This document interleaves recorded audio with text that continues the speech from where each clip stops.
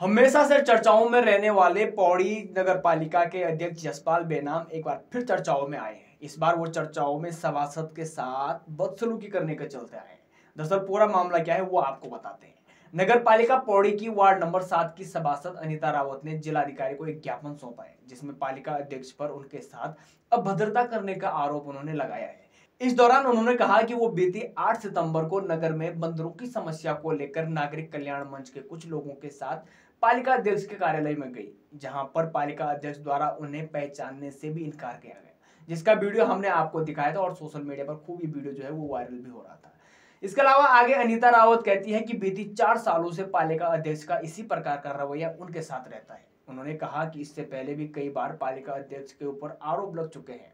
उन्होंने इस मामले में जिलाधिकारी से कार्रवाई की मांग की है। सुनिए एक बार अनिता रावत ने क्या कहा।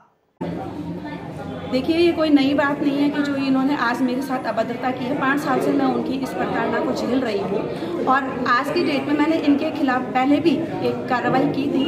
शिकायत पत्र दिया था एसपी मैडम से लेकर महिला आयोग तक। परंतु इनके लिए कोई ठोस कदम नहीं उठाया गया, इसलिए क्योंकि मेरे पास प्रूफ नहीं था। परंतु आज मेरे पास वीडियोस भी हैं और नागरिक कल्याण मंच के वरिष्ठ लोग मेरे साथ खड़े हैं और मेरे पास जो वीडियोस हैं, उसमें साफ़ दिख रहा है कि ये किस तरह से इनकी अभद्रता प्रदर्शित हो रही है। इनका मेन जो कहना है कि मेरी नगर पालिका मैं पौड़ी की जनता से और बीजेपी सरकार से ये प्रश्न करना चाहती हूँ कि क्या वास्तव में नगर पालिका अध्यक्ष इस्पाल बेनाम की वो नगर पालिका है या बीजेपी सरकार की वो नगर पालिका है? जो वो इस तरह से बार बार मेरे ही साथ नहीं कई महिलाओं के साथ इन्होंने इस तरह से अभद्रता की है जो कि आज किसी के पास भी प्रूफ नहीं था परंतु आज मेरे पास प्रूफ सहित मैंने ये शिकायत दर्ज की है। अध्यक्ष के बिना कुछ नहीं होता है। अभी और दूँगा अध्यक्ष साहब। कोई मेरी कॉफ़ी बर्बाद कर दिया। गलती कर दिया हम लोगों ने। अगले चुनाव में अगले चुनाव में तो मैं फिर बैठूँगा। गलती कर दी हमने धन्यवाद सब भगाने वाले तुम गलत दल के लोग हैं नमस्कार अच्छा भाई साहब अगले चुनाव चुनाव आने वाले हैं वहीं इन आरोपों को लेकर नगर पालिका अध्यक्ष जसपाल बेनाम ने कहा कि ये सभी आरोप आगामी नगर पालिका चुनाव के मद्देनजर उन पर लगाए जा रहे हैं। उन्होंने कहा कि सभासद नगर पालिका क्षेत्र में हो रहे विकास कार्यों से बौखलाई हुई है और इस वजह से उनके ऊपर सभासद द्वारा इस तरह के जो आरोप हैं वो लगाए जा रहे हैं। जिन्होंने यहाँ पर अभद्र व्यवहार करने का आरोप लगाया जिलाधिकारी से भी शिकायत की देखिए मैं 2003 से अध्यक्ष रहा हूँ और ऐसे कई पार्षदों ने मुझ पर जो है आरोप लगाते रहे हैं।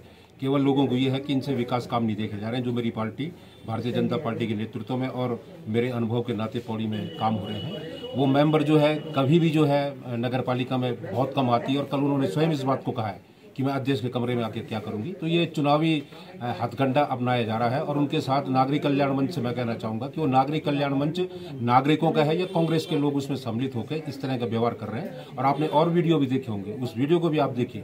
कुछ लोगों के द्वारा, चाहे वो पत्रकारिता से जुड़े हों या कोई आम आम लोग हों, कुछ नागरिक कल्याण मंच के, वो सिर्फ़ बदतमीजी की बात कर रहे हैं। वो महिला खुद जो है, इस तरह की हरकत करके गई है। तो मुझे बाकी कुछ नहीं कहना है। मैं बिल्कुल शांत स्वभाव में कह रहा हूँ कि पौड़ी की जनता सब कुछ जानती है। और चुनाव जब होगा, तब होगा। लेकिन आप किसी पे पारिवारिक लाचन आप बताइए कि सोशल मीडिया में तमाम मेरे बारे में, मेरी नगर पालिका के बारे में, पार्टी के बारे में, मेरे व्यक्तिगत जीवन के बारे में इस तरह की बातें की जा रही है। तो जनता स्वयं देखेगी।